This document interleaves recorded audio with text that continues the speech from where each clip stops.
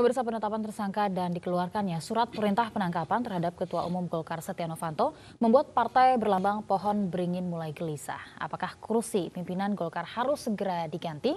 Untuk membahas hal ini sudah hadir bersama kami politikus senior Partai Golkar Hajrianto Tohari. Selamat sore Pak Hajrianto. Selamat sore Yvi. Terima kasih sudah hadir di Anyus Petang. Sama-sama. Ini saat ini Partai Golkar nampaknya sedang menjadi sorotan besar begitu ya, hmm. selain dari Pak Setia Novanto yang saat ini dikabarkan menghilang begitu. Iya, iya. Nah, saat ini juga mulai menjurus ke Partai Golkar yang hmm. menurut Pak JK hmm. ini segera cari pengganti pemimpin. Tanggapan Anda?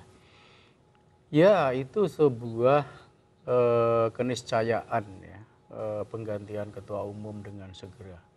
Ini merupakan peristiwa pertama dalam sepanjang sejarah kepartaian di Indonesia. -hmm.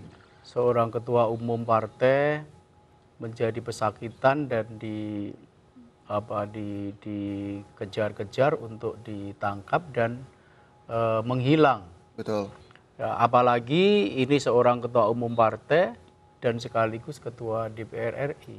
Ya. Bisa e, dibayangkan ya Tapi betapa anda sepakat, seriusnya ya. Anda sepakat hmm. jika ini dikatakan menghilang Ya sebetulnya kan idealnya ya idealnya seorang tokoh besar ketua umum partai politik besar bukan partai politik e, sembarangan ya partai partai politik besar. Nomor dua di Indonesia dalam perolehan kursi di parlemen betul.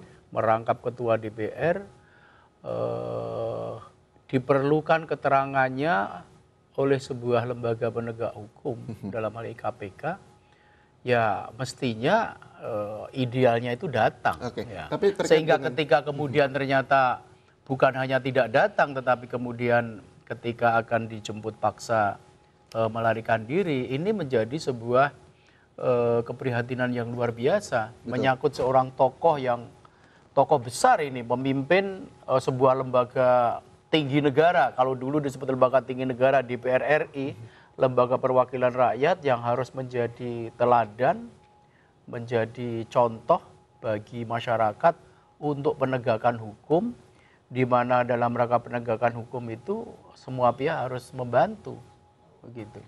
Nah, dari sudut ini saja saya rasa eh, pimpinan Partai Golkar sekarang harus eh, segera melakukan langkah-langkah uh, politik okay. ya. Langkah-langkah politik itu semacam apa? Apakah sudah ada obrolan di internal Partai Golkar sendiri, Pak Jirianto? Hmm.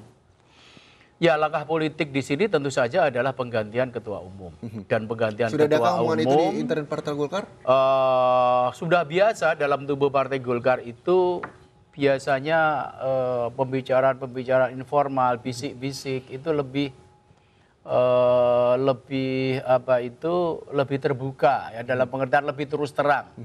Tetapi kalau dalam forum-forum yang sifatnya itu resmi dan ofisial itu uh, biasanya selalu ditutup-tutupi uh, bahkan banyak sikap-sikap yang diekspresikan itu sering kali bertentangan dengan Jadi apa yang secara tidak langsung beberapa kader Partai Golkar sudah membicarakan untuk penggantian ya, ketua umum ya, Partai Golkar. Tetapi dalam Partai Golkar kan diperlukan sebuah mekanisme ya. Okay. Uh, mekanisme penggantian ketua umum Partai Golkar itu hanya bisa dilakukan melalui uh, forum yang disebut dengan Munas atau Munaslup. Munaslup, betul nah, sekali. untuk Munaslup itu diperlukan sebuah persyaratan-persyaratan tertentu dan menurut hemat saya situasi dan kondisi Partai Golkar seperti sekarang ini sudah harus ditangkap oleh para pimpinan Golkar sebagai sudah memenuhi syarat-syarat untuk dilakukannya penggantian. Uh, penggantian Oke, itu. sebelum kita membahas oleh lagi syarat-syarat partai penggantian dalam situasi yang hmm. menurut saya itu sangat berbahaya. Oke,